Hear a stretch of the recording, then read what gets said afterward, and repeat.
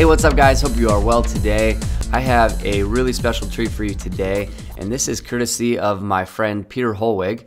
And if you don't know who Peter is, he's the guy who created our pipes generator, uh, which we launched maybe half a year ago or so. Um, make sure to check that guy out. We also did a follow-up product called the air duct generator, and these are really cool rigs just to uh, generate these uh, really detailed uh, models in just a few clicks. So they're tons of fun to play with.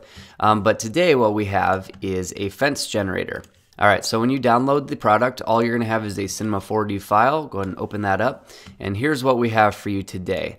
Um, we have a lot of options in this Xpresso rig. So if we click on the fence builder, um, if we go to the user data, here are all of your options.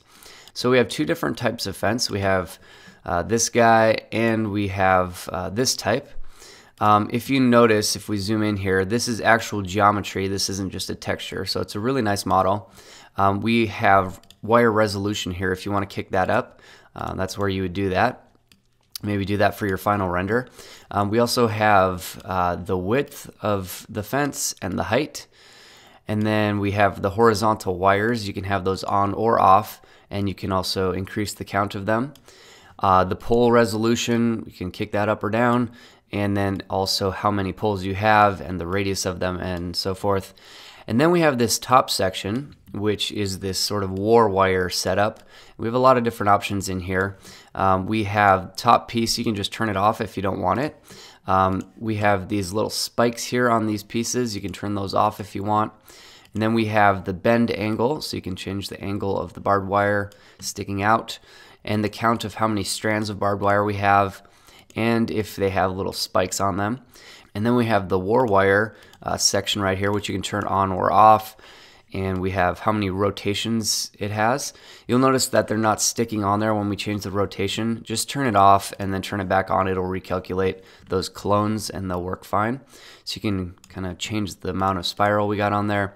Um, and then we have the type of pieces on the war wire. If we change that, we have the stars and then a couple different types like this. So those are your options. Um, and then we also have uh, the materials down here. And this is the default material with kind of the green mesh. If you don't like that, it's really easy to replace them. If you have our material pack, you can pick out one of the metal pieces. I think we have 500 textures or something like that. So just uh, open up one of those guys and if you hold down Alt and drag it on top of the green one, it'll replace that in the hierarchy. And then if we hit render, we'll have a metal uh, looking fence. So uh, one last thing to note is that if you want to move it, everything's hidden in the hierarchy so you don't mess with it. Uh, you can't move it unless you take this protection tag off. Just delete that guy and then you can move this wherever you want. So that's our fence builder, guys. I hope you enjoy it. Uh, please spread the word. It helps us out a lot here. And make sure to thank Peter for uh, sharing this with us. It's a really awesome rig, and I hope that you find it useful. Thanks for checking out the Pixel Lab. We'll talk to you next time.